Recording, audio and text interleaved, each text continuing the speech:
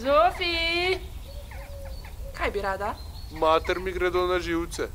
Tuj, same obljube.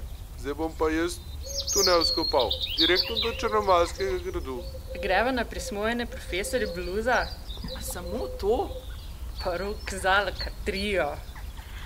A kar trije naenkrat? Takoj. Upam, da do Črnfesta končam.